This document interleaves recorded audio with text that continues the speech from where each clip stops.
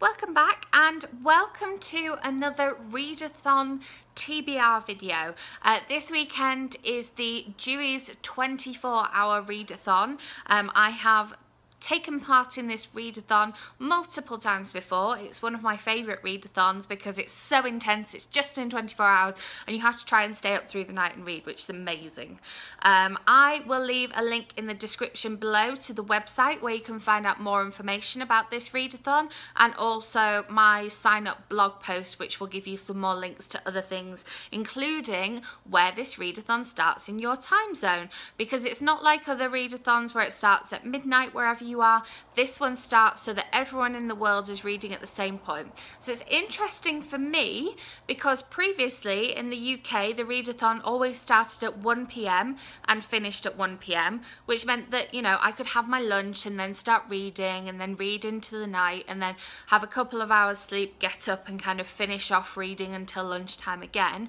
Whereas now, because I am on mountain time, um, the readathon actually starts at 6 a.m. for me, so I'm going to have to get up a little bit early. I'm going to have to get up, get myself a coffee, start reading. However, I that there might be a better chance of me staying up and reading through the night on this one because I can get to 6am and then fall asleep.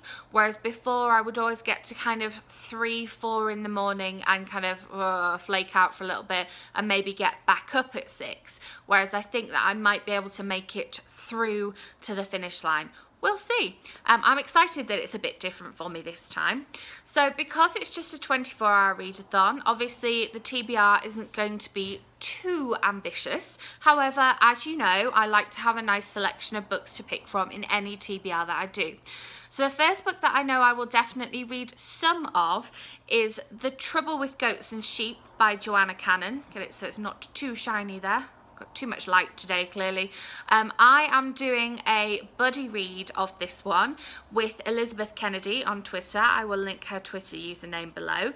And we are reading 50 pages of this a day. So obviously this goes over two days, so I know that I will read 100 pages of this book. Then another physical book which I would like to read um, is one of the final things remaining on my April TBR that I haven't read yet.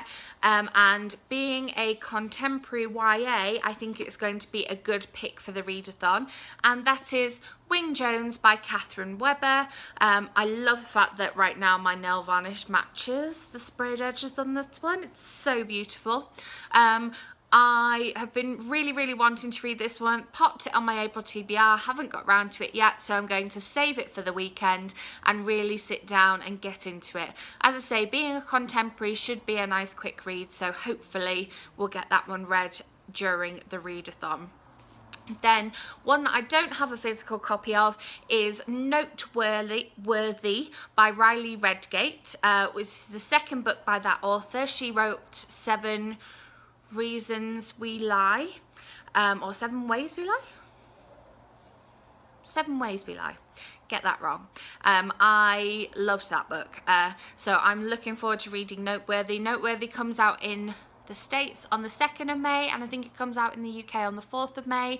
Um, but I will leave a link to that below so you can see when it comes out in the UK versus the US. Again, it's a contemporary YA novel, so I'm hoping that it'll be a nice quick read. Um, and I have a, a, copy of that one from NetGalley on my Kindle, so I will be reading that one as an ebook. And I always like to have an audiobook to listen to during the readathon just because you're doing reading for 24 hours, your eyes are going to get tired, you're on social media as well a lot during this readathon. It's a great way to interact with other people doing the readathon, find new Twitter friends, post things on Instagram, Snapchat away what snacks and coffees you're having. Um, and so I like to have an audiobook on the go as well in case I have to travel anywhere or in case I have to do any cooking. However, I cannot decide what audiobook I would like to listen to during this readathon. So in terms of adding an audiobook, there will be an audiobook on my TBR, but I'm not sure which one it is yet, and I just can't decide. So I'm just putting an audiobook general as the kind of fourth thing on my TBR. So there we have it. Um, as I say, I will leave links to all those things down below so you can find out more about the readathon. Do leave me a comment below if you are going to be taking part in the readathon. It's, as I say, it's one of my favourite readathons. It's a great atmosphere on social media when people are all reading in the middle of the night wherever they are. Um, and yes, I will have another video for you soon. If you enjoyed this one, please give it a thumbs up and don't forget to subscribe to be notified of new videos about all things bookish from me. Thanks for watching. Bye.